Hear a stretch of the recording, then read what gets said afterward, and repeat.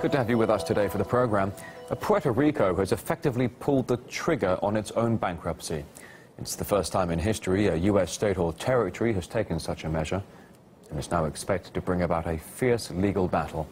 The Caribbean islands are in the red to the tune of $123 billion, and what now lies ahead is highly unpredictable.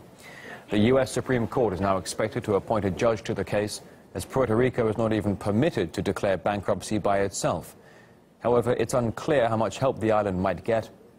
Donald Trump repeatedly refused to offer any bailout to Puerto Rico during his election campaign. We'll tell you that Puerto Rico has too much debt.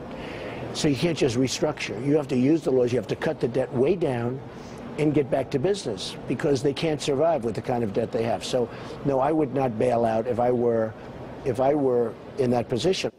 Puerto Ricans are considered U.S. citizens but don't actually enjoy full rights unless they move to the U.S. mainland. Puerto Rico's representative in Congress is a non-voting delegate as well, and all imports to the island are first overseen by Washington officials.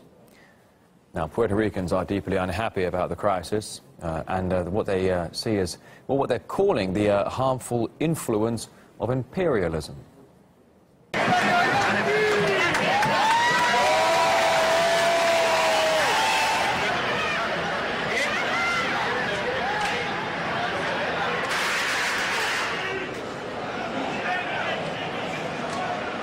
Meanwhile, the island is set to hold a referendum regarding its political status on the 11th of June.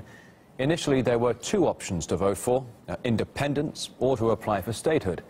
However, the Trump administration recommended maintaining the current status be added as a third option.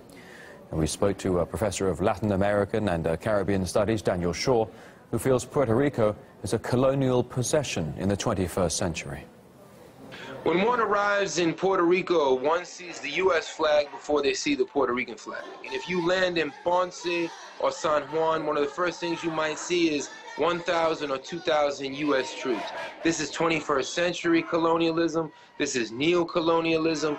Puerto Ricans don't have control over their economic, cultural, or political future. Definitely more people are becoming uh, radicalized with these austerity measures and all of the cuts to workers' pensions and public services, more and more people are extremely upset. And this can only radicalize them and bring them to the logical conclusion that as long as Puerto Rico is a colonia, a colony, there'll be no justice for everyday uh, Puerto Rican people.